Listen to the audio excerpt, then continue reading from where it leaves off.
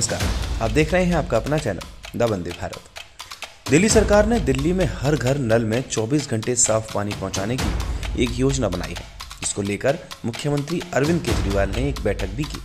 इस बैठक में जानकारी दी गई कि मानसून के दौरान यमुना में आने वाले अतिरिक्त जल को स्टोर कर उसे शुद्ध करके लोगों के घरों तक पहुँचाया जाएगा। इस प्रोजेक्ट को पहले दिल्ली सरकार पायलट प्रोजेक्ट के तौर पर शुरू करेगी। इसे लेकर मुख्यमंत्री ने संबंधित अधिकारियों को निर्देश भी दिए कि वजीराबाद जलाशय के ऊपरी छोर पर चार सौ उनसठ एकड़ का कैचमेंट वेटलैंड जलाशय बनाया जाए। सीएम ने 20 एकड़ का ऑफ़ रिवर मिनी जलाशय बनाने को लेकर निर्देश दिए। बारिश के पानी को शुद्ध करने की योजना को लेकर हुई उच्च स्तरीय बैठक में मुख्यमंत्री अरविंद केजरीवाल ने कहा है कि दिल्ली सरकार की योजना है कि मानसून के दौरान यमुना में आने वाले अतिरिक्त पानी को जलाशयों में स्टोर किया जाएगा और उसे शुद्ध करके लोगों के घर तक पहुँचाया जाए।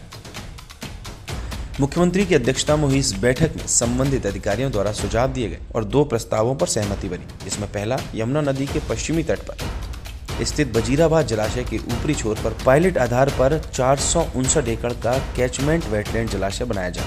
इस जलाशय में मानसून के करीब 1735 एमजी पानी को स्टोर किया जा सकेगा और दूसरा 20 एकड़ का ऑफ़ रिवर मिनी जलाशय बनाने पर विचार किया गया।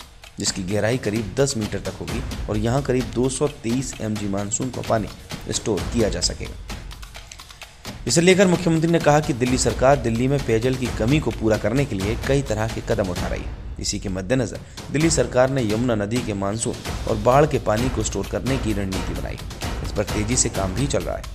इस बैठक में दो प्रस्तावों पर भी विचार विमर्श किया गया। इन दोनों प्रस्तावों पर आगे बढ़ने के लिए संबंधित अधिकारियों को निर्देश दिए गए अगर आपको भी ये वीडियो पसंद आई हो तो इस वीडियो को लाइक कीजिए शेयर कीजिए और हमारे चैनल को सब्सक्राइब कीजिए। नमस्कार।